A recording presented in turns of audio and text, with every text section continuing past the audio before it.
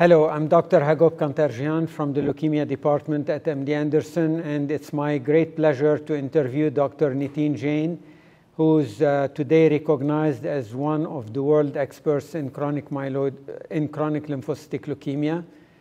And uh, Nitin has uh, chaired and uh, piloted many of the most innovative studies in chronic lymphocytic leukemia, and I would like to uh, discuss some of those with him.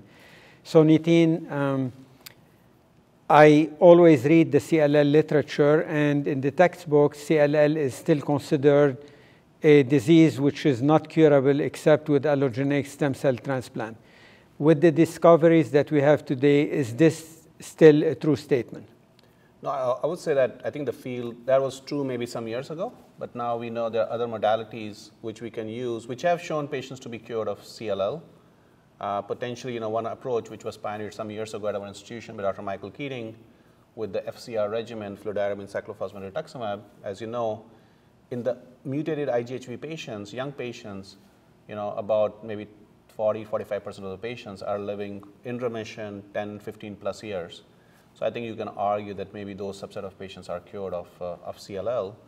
I think allogeneic stem transplant is potentially curable, but we hardly these days use, uh, use that for patients. I think it has really fallen out of favor and obviously with the complications with allogeneic transplant and whatnot. So I think, I think there's a group of patients certainly can be cured with the current available therapies we have for CLL. But that's a small minority of patients. They have to be young, immunoglobulin heavy chain mutated um, and negative for uh, TP53 and uh, 17p minus. So that could be maybe 20% of the patients. Do we have something for the 80% of the patients who are not candidates for uh, the fludarabine cyclophosphamide rituximab? Yeah, I think that's, that's where I think the new drugs which have come up a lot in the last 10 years uh, so namely B, uh, BTK inhibitors. So we have you know multiple BTK inhibitors approved. Uh, first generation was ibrutinib. Second generation is acalabrutinib and zanubrutinib. And now we have a third generation or non-covalent inhibitor pirtobrutinib, which is approved. Uh, we have a BCL2 inhibitor, venetoclax, which is, but there are other ones coming along, which is approved. And then you know we used to have rituximab, but now we have obinutuzumab, which in CLL studies have shown to be superior to rituximab. So these three classes of drugs, BTK, BCL2, and CD20 antibody, which are now being tested in lots of phase one, phase two, phase three studies, combinations, I think has the potential, I think, of curing um, of some of the patients. Now, we don't know which fraction that would be, whether that's going to be 20% of patients who get these drugs or 50%, but at least the early signals are looking promising in the depth of depth of remission we're achieving. So we hope that five, 10 years, or maybe when we have longer follow-up, some of the studies we did early on we have about five to six years of follow-up, but I hope that in the next four or five years, when we have a 10-year follow-up, X percentage of patients will be free of disease, and that we can say is a cure fraction. But again, that remains to be determined what percentage that would be from the studies we and others are doing right now. So, like in chronic myeloid leukemia, it's possible that the newer targeted therapies uh, could lead to a cure fraction. So, for people who are not well versed in uh, CLL, can you clarify what do you mean by first, second, and third generation BTK, uh, BTK inhibitors, and also whether there's an advantage of Uh, the newer BCL inhibitors over, say, venetoclax? Yeah, so the, the first generation, basically the first drug which came to the market was ibrutinib. It was first studied and it was approved in 2014 for CLL. But ibrutinib, besides inhibiting the BTK, it inhibits some other off-target effects. So then subsequently the so-called second generation, which are also what are called covalent inhibitors, they, ibrutinib also bind to cysteine 481 residue of BTK by a covalent chemical bond. So the second generation are also covalent inhibitors, namely acalabrutinib and zanubrutinib. They also bind to the same cysteine 481 residue, but they have less off-target effects. And that, I think, leads to less side effects.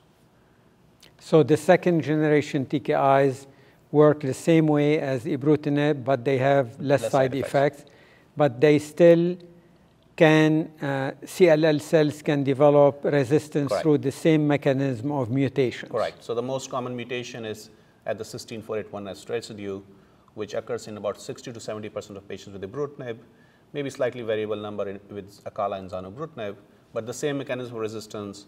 And thereby, if a patient is failing ibrutinib, and they're taking ibrutinib, they're failing ibrutinib, there's no reason to switch to acalabrutinib or zanubrutinib because the mechanism of resistance is the same. If you, if you identify a mutation. If, but even if you don't identify a mutation, we think there may be some other mechanism which could be similar.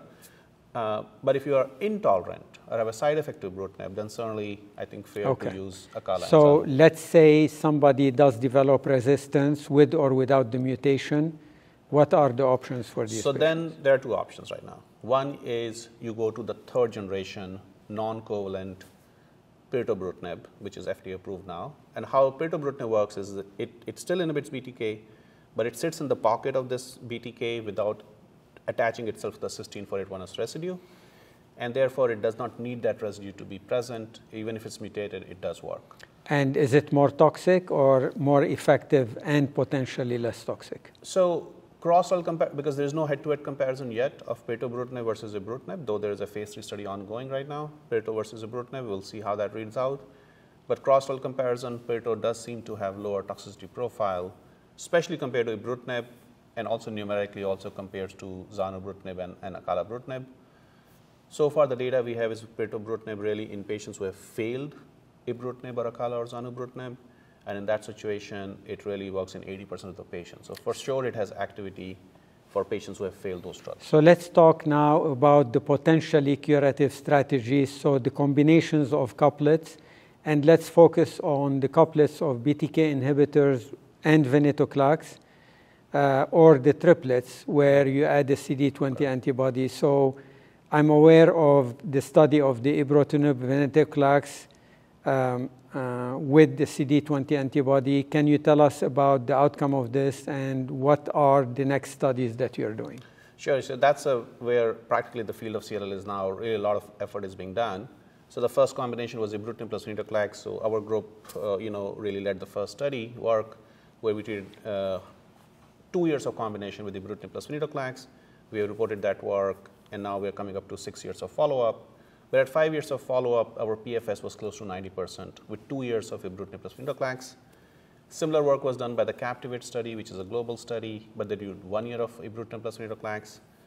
Their five-year PFS is not as high; it's dropping to 60-70% range. But if your five-year PFS is 90%, why are you saying we could end up curing 20 or 50%, not 80%? Uh, and how important is the duration of therapy in terms of increasing the cure rate? Yeah. Is it like CML, where a longer duration in a deep molecular response improves the treatment-free remission rate? Yeah, so I think when I say five-year PFS is uh, 90%, but there are patients who have had MRD recurrence, which are not in that 90% because they didn't have a bona fide disease progression. If you were to see how many patients are in MRD negative remission still at five-year mark, that 90% will be less. So it, uh, I don't know the actual number right now, but it could be in the 60-70% range. Okay.